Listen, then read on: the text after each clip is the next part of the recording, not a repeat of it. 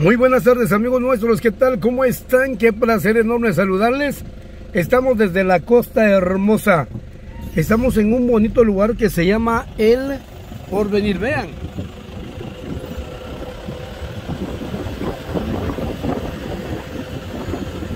Y vean qué bonito puente, de verdad.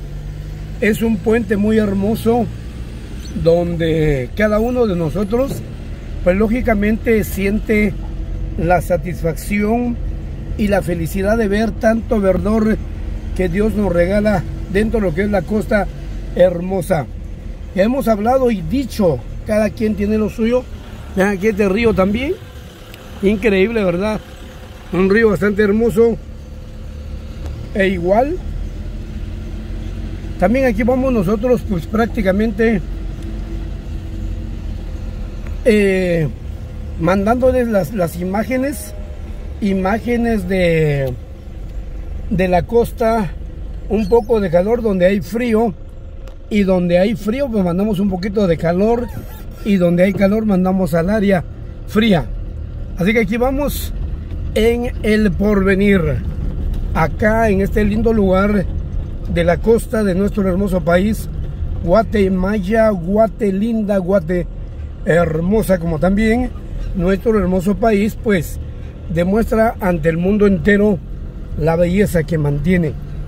Nosotros antes de viajar fuera de nuestro país tenemos que conocer nuestro propio país. Así que de verdad mis amigos que es un gusto enorme llevarles a ustedes por acá parte del ambiente de la costa que hay un calor riquísimo acá un calor que está, yo considero un 38 sobre 0 o quizás hasta 39, pero es un calor bárbaro el que hay por acá. Dice que es la Escuela Rural Mixta Las Pilas. Así se llama esta eh, escuela. Creo que donde hay nivel primario, secundario y quizás hasta ahí no creo que haya carrera ahí, pero en fin. Así que aquí vamos entonces en el camino de el lugar que se llama El Porvenir, que es una parte de Reta Luleu. Y por cierto, pues el saludo afectuoso a ustedes, pidiéndole que la pasen súper bien a esta hora de la tarde. Hoy estamos 5 de octubre del año 2022. Y estando en este 5 de octubre, hablamos que solamente falta octubre, noviembre, diciembre, enero. Entonces sería octubre, noviembre, diciembre, tres meses para que finalice el año 2022 e iniciemos el 2023. ¿Qué deseamos nosotros en el año 2023? Pues primeramente desear salud a toda la hermosa gente que nos está en este caso mirándonos, quienes nos siguen. Después de salud, ¿qué queremos? Lógicamente a nuestra familia, al trabajo, al arte que tenemos y por supuesto donde nos desempeñamos. Así que mis amigos, de verdad que les deseamos a cada uno de ustedes y a cada una de ustedes, por supuesto, muchos éxitos, muchos parabienes, esperando que la gocen muy bien a través de suceso informativo.